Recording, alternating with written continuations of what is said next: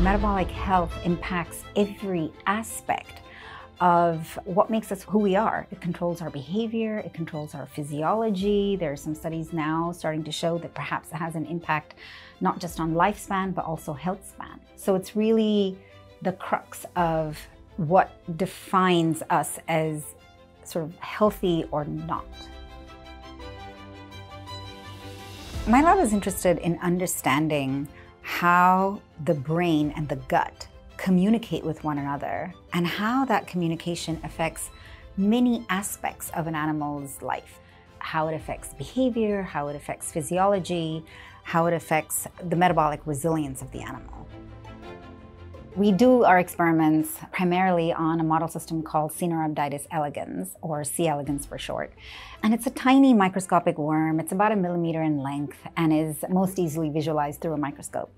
It's comprised of about 20,000 genes within the genome, of which two thirds are conserved in humans, actually. And so this small system is very amenable to molecular genetics and manipulation at the level of individual genes or multiple genes in combination.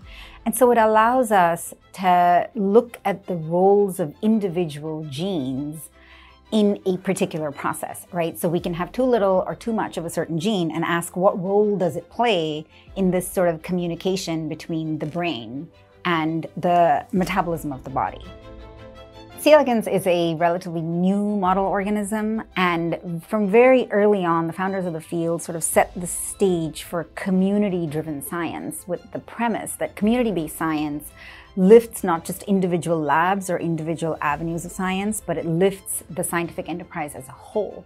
It's definitely, in my experience, a very unique group of researchers to be part of. It's quite a privilege.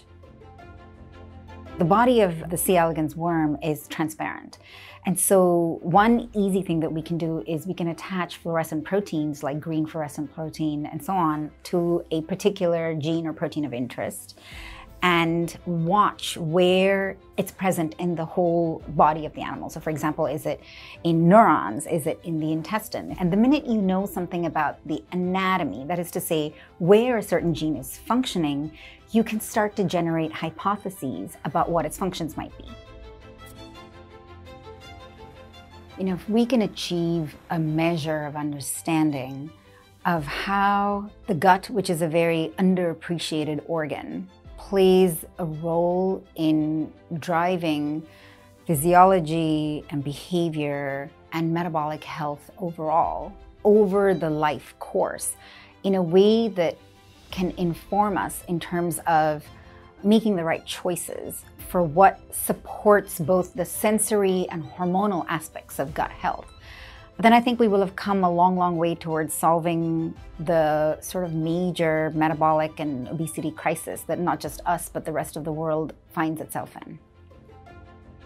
Working on something that is so foundational to every aspect of human health means any discovery that we make. It's part of a little brick that we might be contributing to a larger structure that helps inform how every aspect of human life has the potential to be improved with the little bit of foundational knowledge that we contribute along with thousands of other scientists.